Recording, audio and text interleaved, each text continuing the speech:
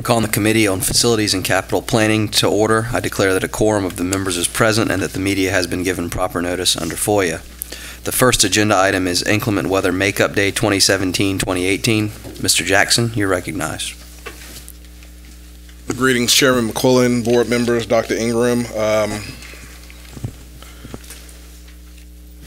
As noted, um, talking about the inclement weather day for this year, uh, due to the threat of Hurricane Irma in the fall, uh, we lost three instructional days, September 8th, September 11th, and September 12th. Uh, The district opted to use each of the three weather makeup days that were um, established on this year's instructional calendar.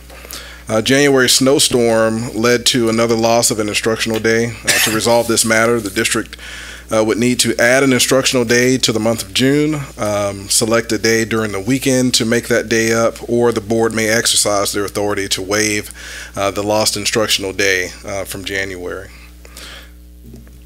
Uh, Due to uh,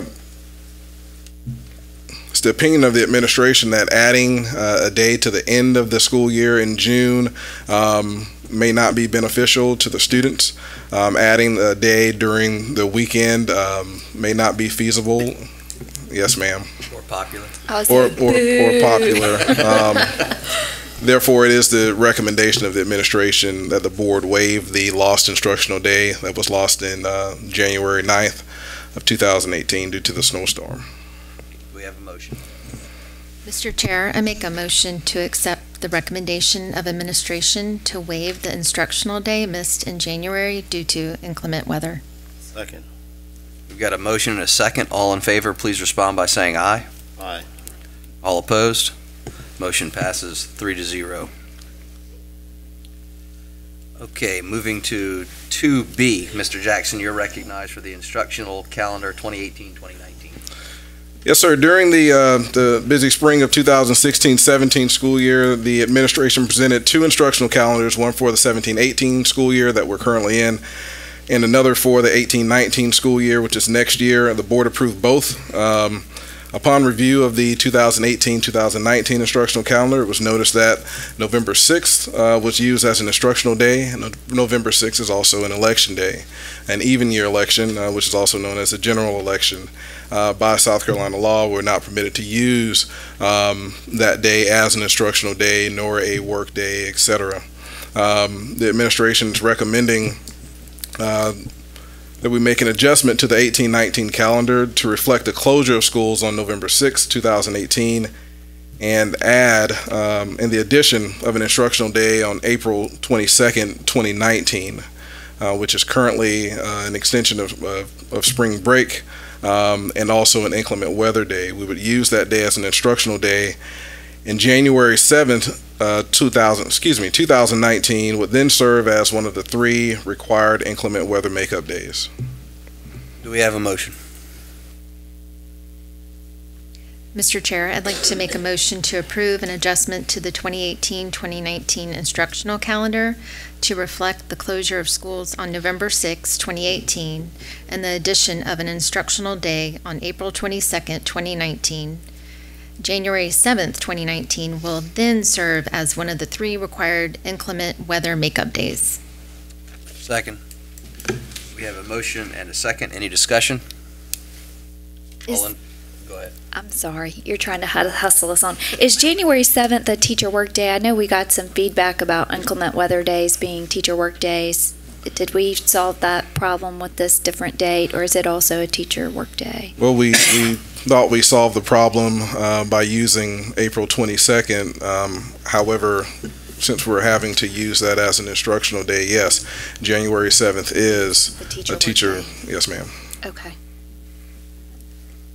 Any other discussion? All in favor, please respond by saying aye. Aye. All opposed? Motion passes three to zero.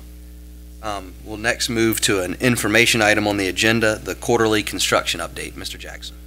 Yes, sir. Ms. McQuillan, at this time, I'd like to invite Mr. Gene Sides um, to the podium to deliver our capital projects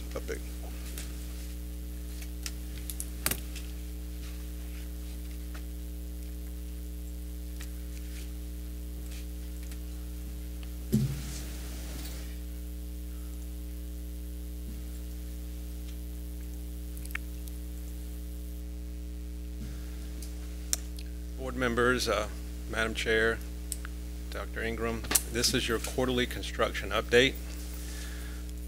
Uh, It's going to be somewhat sweet because we're only going to talk about three projects because the others are complete. Um, As you can see, the Berkeley Ed Center is scheduled to begin next month, or I think it's the 1st of April. And then we have Fox Bank and Bowen's Corner that are scheduled to be completed in August for the start of the new school year.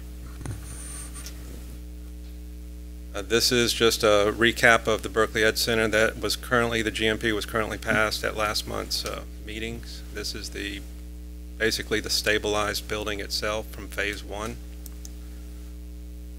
And these are conceptual uh, drawings and ideas for the interior for the Phase Two that was approved last, last month.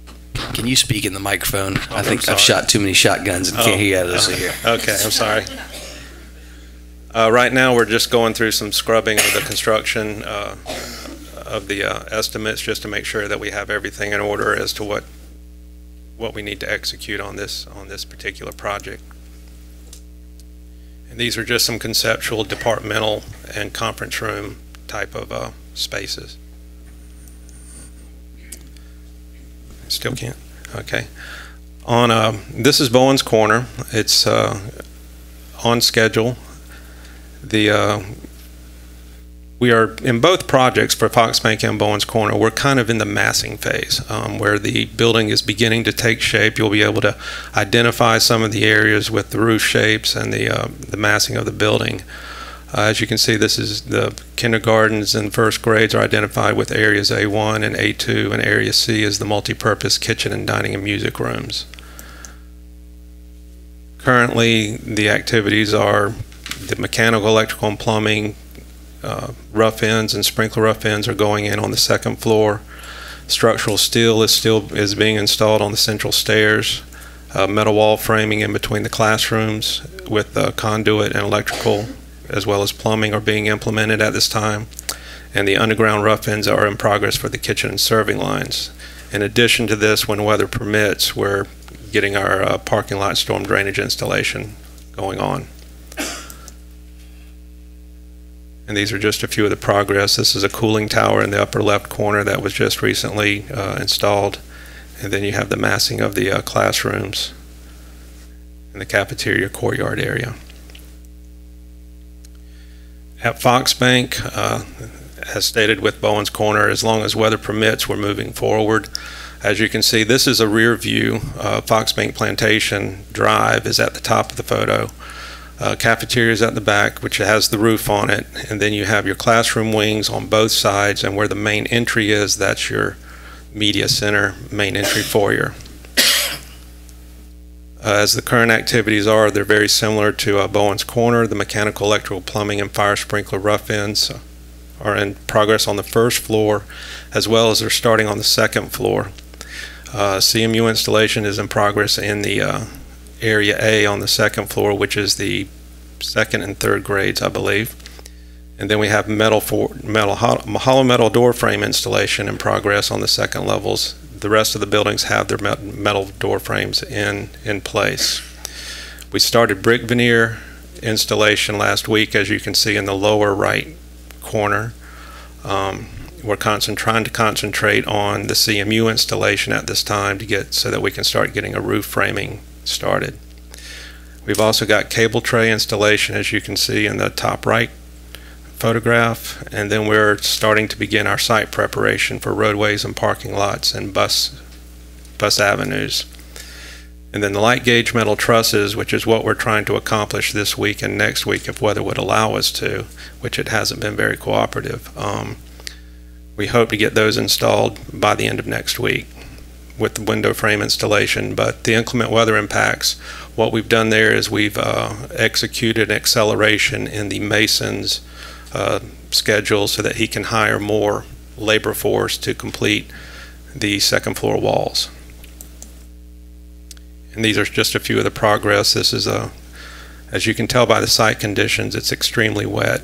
Um, the front of the uh, school is in the top right, and then you have basically just some progress and system, wall system type photos in the lower left of how the CMU and the insulation and brick are applied with the multi-purpose room is in the middle. And that's pretty much it. So are there any questions? Any questions? All right. Moving on to the next agenda item, Facilities Master Plan Update. Mr. Jackson. Yes, sir. If you would give me just a second.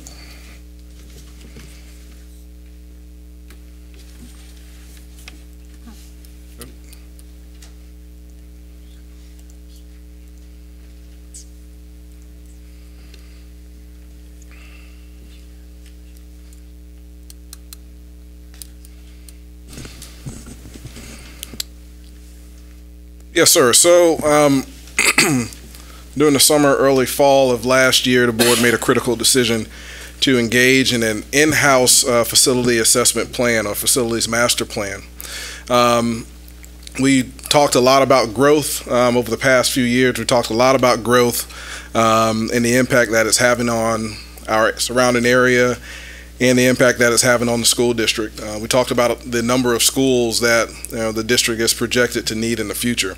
Um, we uh, mentioned um, the amount of maintenance or upkeep that would be required for the existing facility. So, what the facilities master plan is designed to do uh, is develop an efficient and reliable assessment to address our facility needs now and, uh, in a sense, be able to predict the future. Um, in the process of doing so, um, we'll develop a progressive uh, six-year facilities assessment master plan that will be used uh, to help us, again, predict the future growth um, and um, address our development changes, challenges, excuse me.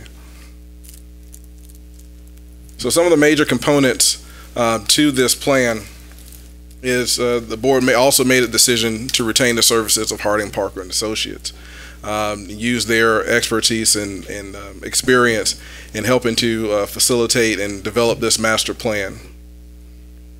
Uh, we've also contracted with uh, Numerics.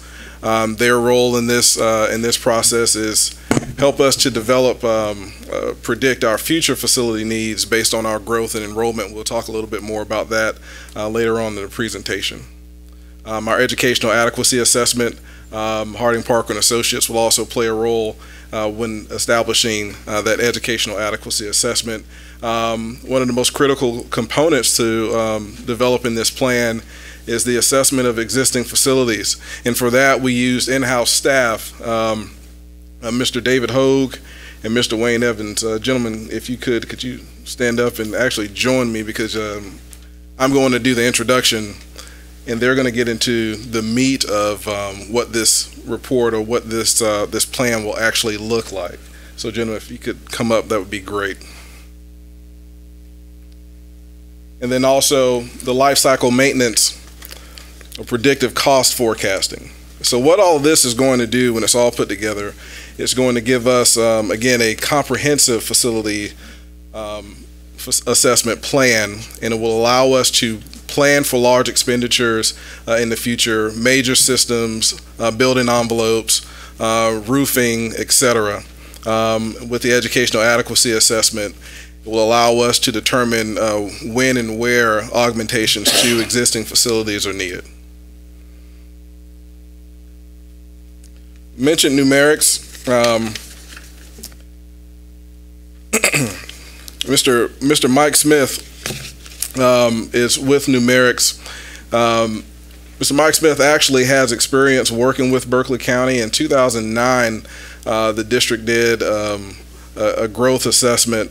Um, you know, as as we were experiencing growth. Um, Mr. Smith was with uh, ORED back then, uh, so he has experience uh, with Berkeley County. Did the 2009 study as well as uh, the 2011 update to it. Um, Mr. Smith is now local. Um, so he's a Charleston-based company now.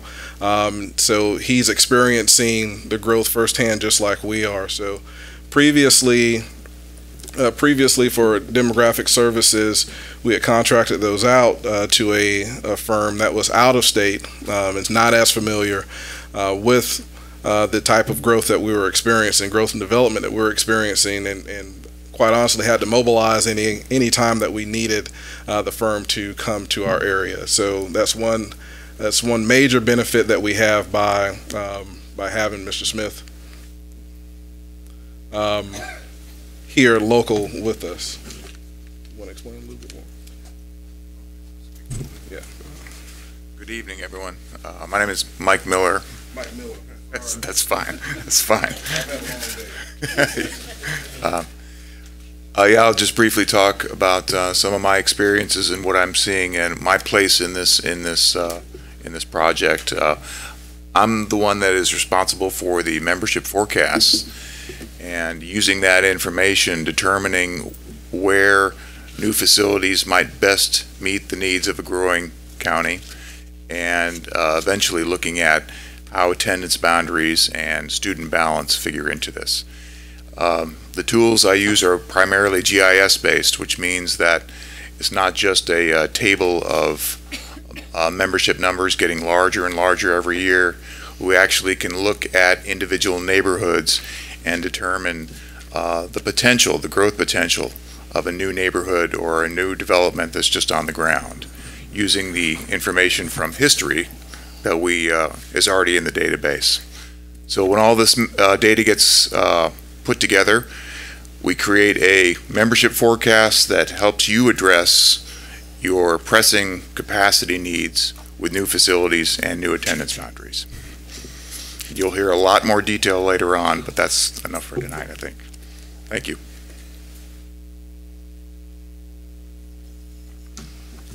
Thank you, Mr. Miller.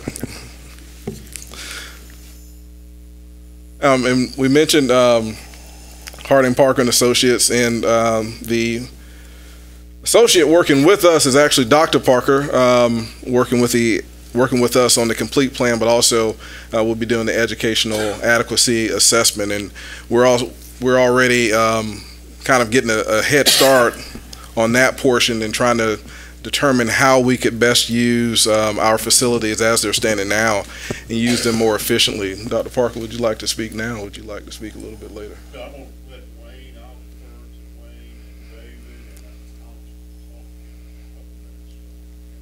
Perfect. So before we before we get to Mr. Evans, we'll talk a little bit about uh, the facility enrollment um, and how we determined um, capacity. So um, each facility, excuse me.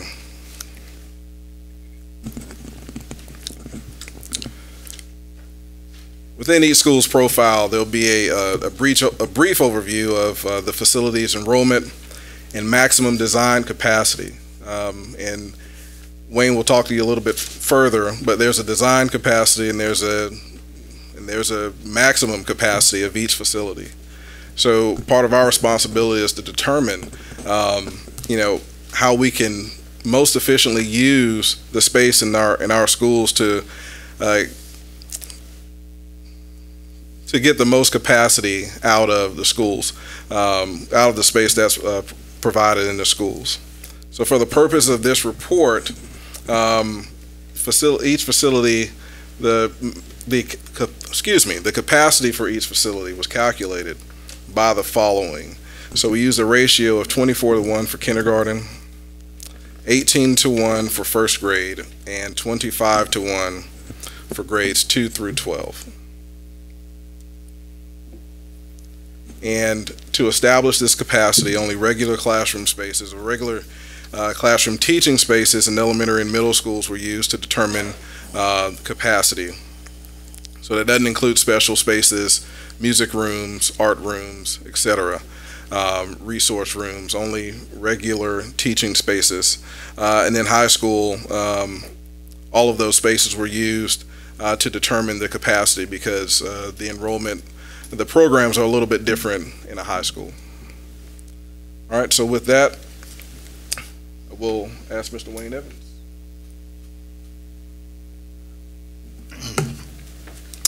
From the, uh, the beginning, what David and I have uh, tried to take and do is put together as much information as we can give you, and that's what we'll continue to do. um, about the facilities we already have. Uh, we look back at some of the facility assessments that some folks in the past had done, and uh, there were a couple of things that they did that we were doing a lot different. One thing that we recognized in what they did was they presented the district with a static report. From the day it was presented to the uh, district, the at the accuracy of their report began to take and drop. And with the growth and developments going right on right now in Berkeley County, it doesn't take much before the accuracy in a report would take and uh, drop off very, very, very quickly. Uh, when we opened the new Bowens Corner schools and the Fox Bank schools, uh, the accuracy in a report that we would have given you would have already changed. Um, anytime a new development or a new corporation moves in and, and we see growth inside the district, it's going to just continually change. Um, that was one of the one things that we tried to take and uh, consider whenever we were looking at our buildings. Um, we wanted to do it in a way that we could take and continually refine the information we gave to you. Uh, that's what you see in these uh, pictures right here. The actual levels that are in them uh, may not be where we want to see them at yet. We may be basing the information that you're looking on here from information that we'd, we'd gotten from the outside. Um, that information may have come through three or four different hands before it's gotten to us. Uh, where we find information that's not at an accuracy level of where we want it to be or where we think it's got to be, uh, we'll dig deeper into it. And in doing that, we've ended up having to go back to the very beginning in some areas in order to get those accuracy levels that we're looking looking at. Um, but at any rate, what we see is we see a, a program that we want to put together that is a continual process and a continual program for our facilities. Uh, I think that's in the very best interest of the district, especially, like I say, with the growth that's going on right now. Um, what we did was we did look at each one of our buildings. We've tried to take up here in this upper area, we've given just basically a, a this whole sheet contains a tremendous amount of information. Really, it's it's going to be what you want it. To, you, you, can find the information that you want to just about uh, whatever whatever it is that you happen to look for. The address of the schools are up in here. The year it was actually built. Um, whether or not it's had additions or not had additions. Um, this one here happens to have, and we just chose Whitesville because it's kind of in the middle of the district, and it also kind of represents some unique things that uh, we know that we're going to have questions on, so we thought we'd go ahead and throw it out there right off the bat. But uh, in here, what you see is we see that uh, according to the capacity calculations that we use, the 32 uh, 32 classrooms down here, the first grade classroom, 12 kindergarten classrooms, those are the design teaching spaces. Those don't change in a school. Program space use changes. And so this is about the only stable way of evaluating our, our facilities that we know of. Um, so we've used these uh, to decide the, the capacities in, in our buildings. The, uh, and you'll look right off here, and I'll go ahead and you know confront the, the question right off the bat before it's even asked. But in the uh, the beginning of this, right in here, um, we see what the maximum, maximum capacity of our buildings are based on this information, and then we see our actual enrollment, and that was in the around the 45 day period of, of this physical school year. Uh, you can look back at uh, 10 years ago, and you can see the growth that's taken place in student enrollment in that school. Uh, that's a good information, but at the same time, it's not necessarily the best information. Um, that school, uh, say in 2010, may have been running 1,300 students before another school opened. And that's what we're talking about when we see information, the accuracy of things changing uh, in it. And that's why it needs to be a progressive type of a, a document or, or program.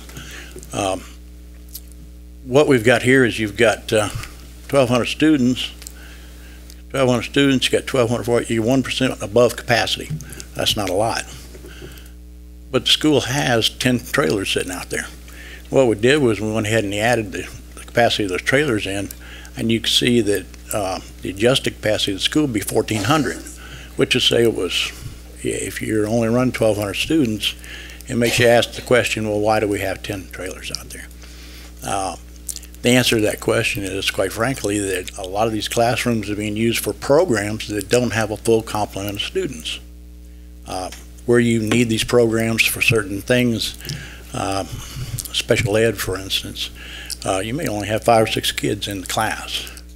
So you can easily fill up your rooms with special programs. Another thing that we've noticed is that um, in the construction through the years, a lot of attention's been taken and given to adding classrooms on schools. Very little attention's been given to adding storage spaces for the schools. Um, when you get a high school, for instance, and you add 10 classrooms out there and you add 25 kids in every classroom, you're adding an awful lot of books that you got to store somewhere for the kids. And as well as all the other supplies in the building. So a lot of times what some of the schools have had to do out of necessity is go in there and take some of the teaching space and use it for the other things. Uh, yeah, I'm getting rushed around. So, uh, the uh, additions and renovations, uh, a lot of our buildings have gone through renovations. That's nothing new. Everybody, you know, knows that. But uh, one of the things essential to uh, understanding of buildings and really making good decisions about them is correctly dating our buildings. And what we've done is we've gone and we've broken our buildings apart. And as far as I know, it's the first time it's ever been done in Berkeley County Schools, but we're giving you a look at our buildings um, that allows you to see where the old buildings were. Uh, it's real easy to go inside of our schools, and when you go inside the school, what you see are, you know, nice light fixtures and ceilings and carpets and everything looks all up to date. But like in this school here, that's that school was built in 1956. So this area right here, even though it was renovated, the sewer lines under there are still 1956 sewer lines. Nobody tore the floor up when they did all of this. Um, the sewer lines are going to be old. The electrical pipes and things that are underneath the floor, everything under there is going to be uh, still in above the ceilings. It's still older parts of the building. While they're still usable, when it comes to a time when you get ready to add uh, a large number of uh, uh, classrooms or, or want to do a big renovation, then it's it's information that you need to make a decision. Do we really want to keep this building, this part of this building, or we need to get rid of it? Is it starting to be a, a maintenance um, money pit that we continue to pour money into? Um, so even though when you walk in the door they look great, but this is a view of the buildings I don't think anybody's ever had before. But in this section, you know, you'll see uh, uh, in a lot of cases what we've done is we've told you how many years, you know, this this thing is that area of the building may be um, what uh, 50 well 60 something years old. Yeah, and the uh, the uh, area of the buildings that we've gone into, the square footage of our buildings, what we've done when we've broken them down, uh, we've used right here the segment numbers. What we looked for in the district was a set of numbers rather than creating a set of numbers that would uh, allow us to take and reference our buildings. And so the segment numbers, what they are is actually uh, uh, the insurance numbers that we have because that's uh, those are assets that don't change uh, they're going to be there, you know, continually. So we use those, and in doing that, you know, we've broken down the, uh, uh, the different square footages for each one of those. Square footage that we had, what we found were that they had passed through so many people's hands through the, through the years that that information that we had wasn't good information, and it was being passed on by a lot of different people. Um, that believed the information they had was was correct, but uh, what we what David has actually done is we've had to go all the way back to the source to the plans and go back and look at all this information to find out for sure where the square footage is. The level of accuracy I think that we have right here in the square footage is higher than it's ever been in the district. There's no doubt in my mind about that. But uh, over here on this side, what you see is a a history of the, either the construction or the renovations that this building's gone through, through the years. Uh, And we've done that for each of the schools so far. What we're doing right now is going back and trying to refine and make sure the the information that we're putting up there is accurate. Uh, The, uh, the next view that you're seeing right here is an over, overhead view, and, uh, basically it just lets you know where these, where what you were looking at before, those different segment numbers, where they are in relationship, you know, to, to this. And here you can see the age of these buildings. You can start seeing the different types of roofing that's gone in here. Um, It, uh, before the reference, you know, they're, they're being called segments. Here we're actually starting to identify what they are, give you a little better understanding of what, the- what they are. Um, The uh, life cycle cost uh, maintenance program that we're, we're going to take and uh, we're working on and going to take and launch, what it should do is it, it should take and allow us to give you a facilities update anytime you want it. Um, It's a program that will uh, base the conditioning of our buildings on the life of the equipment and the life of the, the building itself, the uh, lifespan of it. You know, everybody know, well, I just got through replacing my roof on my house. Uh, It's, a- the one that came off was an 18-year, you know, it was 18 years old. The shingle was supposed to be 20 years old. But what this will do is it'll allow you to, uh, ahead of time, start realizing that we need to do some big major changes and updates. And we need to get the money set aside to, to do these things, to confront them. Uh, we know there's a lot of competition for money, you know, that in the district. There's no doubt about that. And it's a small bucket of money to start with when you look at all the needs. But we can't ignore the buildings that we've got. We've got to stay on top of them. Um, can't just continue to build onto them. We've got to maintain them as well. And this this is a, a, pro, a program right now. of The district with the square footage that we've uncovered, the district is over square, over six million square feet. That's just in the educational side. When you add the sport buildings onto it, it gets up to about 63, 6.3 or 6.4 million square feet right now. Uh, that's an awful lot for 100 guys in maintenance to go over here and try to analyze the equipment that's in here and tell you that you need to take and consider replacing the air conditioning units on top of this building. Um, if you aren't careful, you'll end up in a situation like we had at Timberland where the equipment out there got to the end of its life cycle, and then you're looking at a $4 million repair bill all of a sudden that you didn't budget for. So uh, we think this is something that uh, will definitely enhance our whole capital improvement type of uh, process, selection process. Um, What it should do is not necessarily make your choice for you, but what it should do is highlight the items in the district that somebody needs to look into so that they can take and uh, bring them to the capital improvement table for choice and decision. Uh, And I'm hitting the wrong button.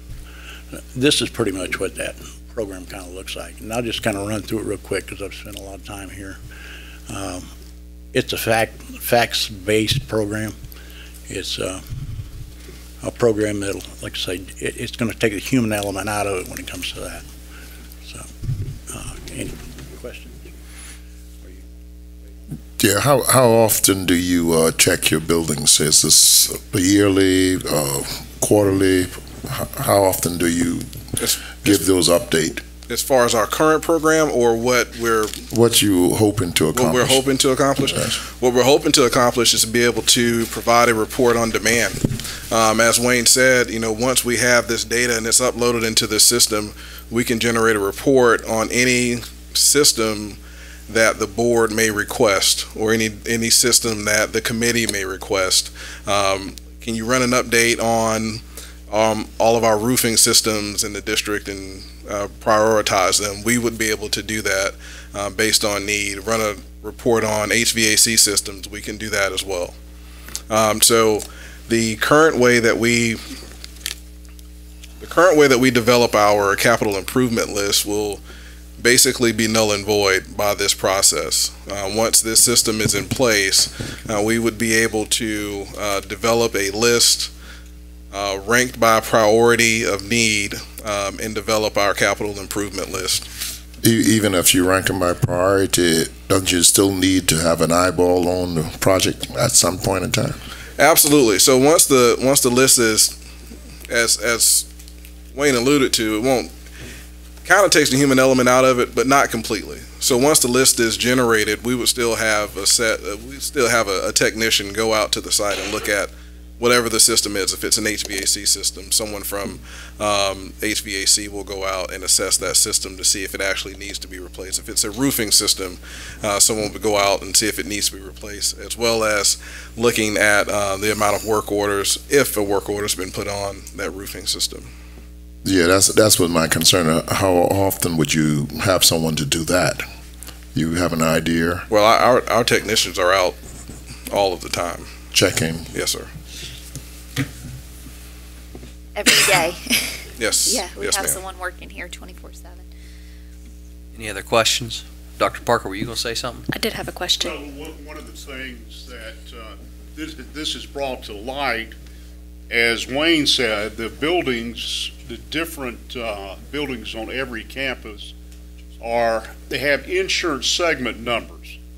And what Wayne and David have done, uh, with Dion's leadership is look at these segments and, and look at our insurance policies to determine whether we're insuring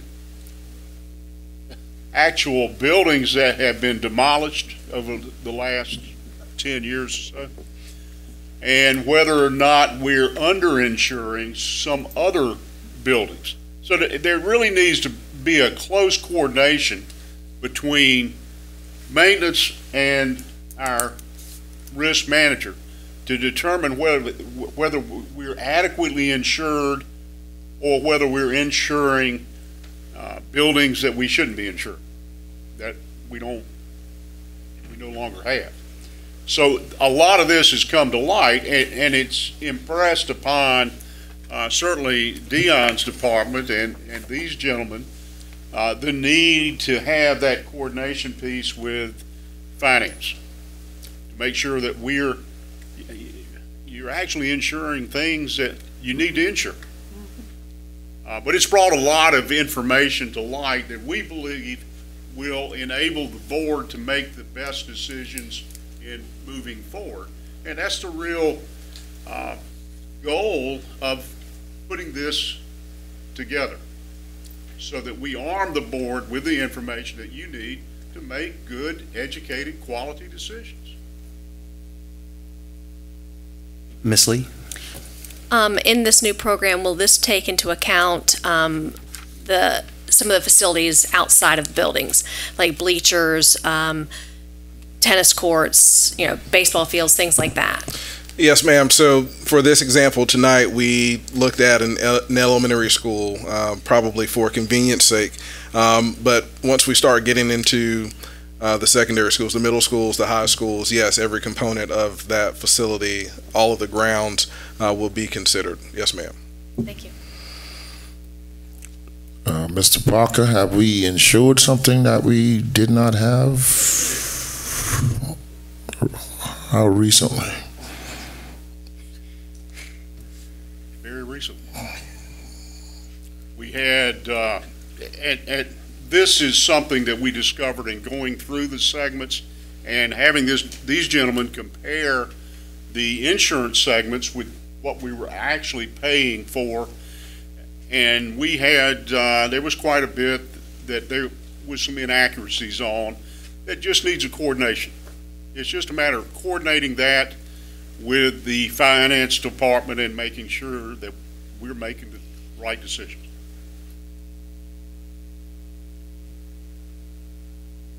Anybody else?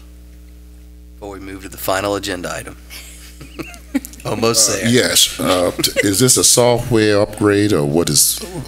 It's a new software program.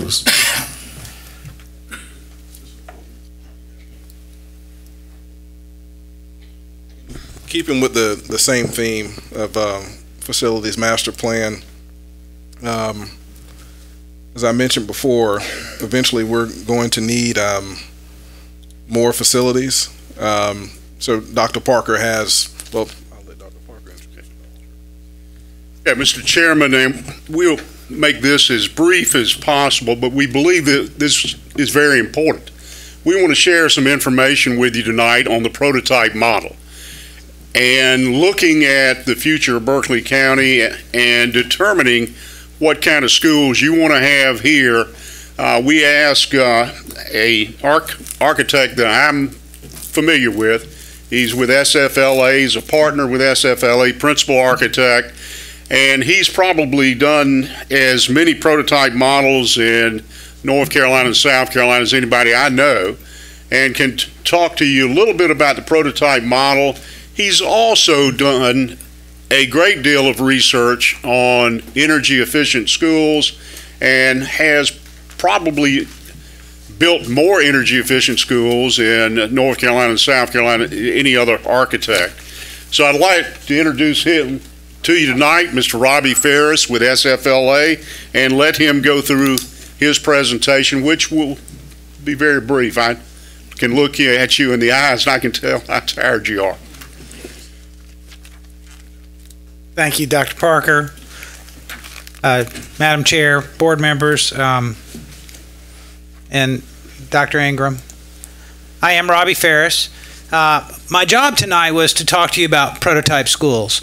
Uh, before I get into that, I think it's important to uh, preface the conversation with a little bit of conversation about why these schools that you're going to see tonight are so different, uh, particularly in light of the video that Dr. Ingram showed you. Um, these uh, some of the schools that I'm going to show you today are from Horry County. That board spent about a year looking at how teachers teach and how buildings could either support teaching and learning or not. And so out of that year-long research that the board and staff did came these buildings. Before we get into the buildings, I'm going to just uh, briefly talk with you some, about the advantages of prototypes. First off, uh, prototypes save time. I think we all know that. We can very quickly site adapt a building and, and sometimes save as much as a year, year and a half on a construction project. Reduces bid day risk. If you've built the building once, you know what it's going to cost. So that's a very significant advantage uh, to a school district who's trying to manage their money. Uh, reduces the cost because subs are familiar with the prototype. We've got buildings that we built 20 and 30 times. So the market is very familiar with that particular building. Um, when when projects are built simultaneously, the project is reduced because uh, of quantity and administrative cost reductions. And I'll show you the, the schools in Horry County that we did. We built five schools at once, and they're basically the same building, and cost came way down. Quality went way up. Um, allows for the refinement of the end product with each iteration. So you build a building, you never get it perfect. You're, you're allowed to, you can then refine it on the next one, and they progressively get better. Uh, eliminates surprises with the design, again, along that same idea. Makes budgeting that next project much easier. And one of the things that's not on here, but in light of the conversation about facilities, uh, standardizes materials and systems, mechanical units, wall systems, uh, all of those things become the same, so it makes it much easier for your maintenance staff to maintain those items. So I'll go real quickly. In Horry County, we built three middle schools, an intermediate school. They were all the exact same design, and then an elementary school that was a variation on those.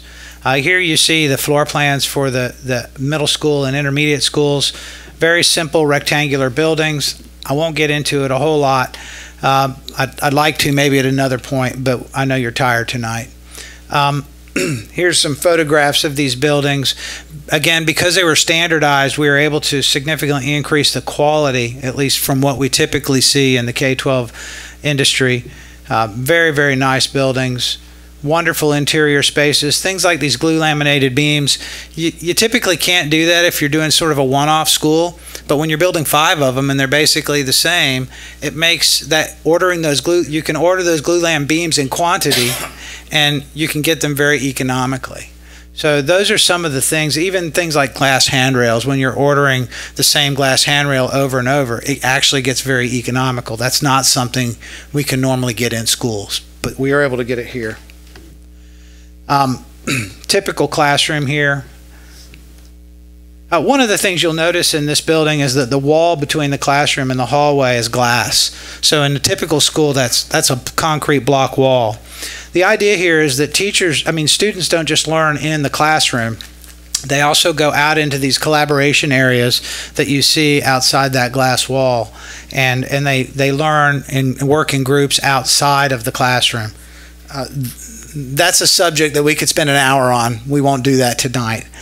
Um, very innovative buildings when it comes to support supporting teaching and learning. Typ- this is the Learning Commons, uh, otherwise often referred to as the Media Center.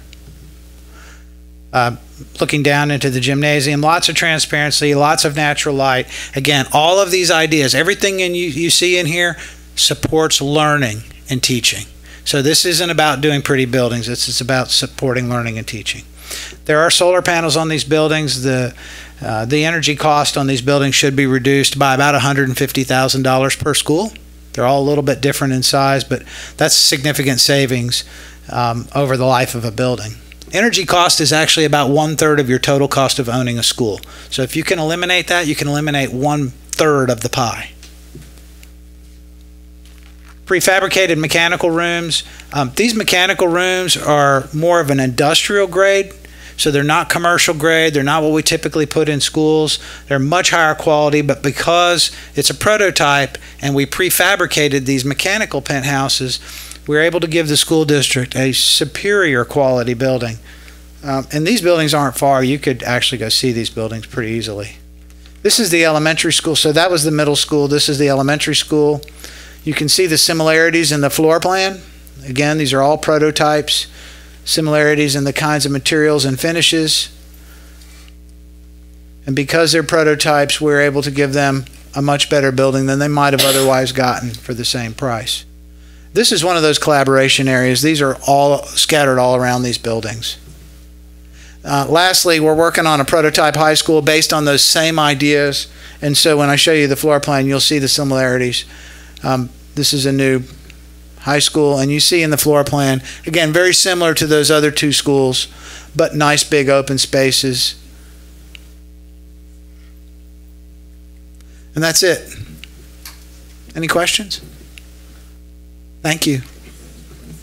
Thank you so much. This time we'll move to agenda item E, recommendation for naming of the stadium entrance at Berkeley High School. Mr. Jackson.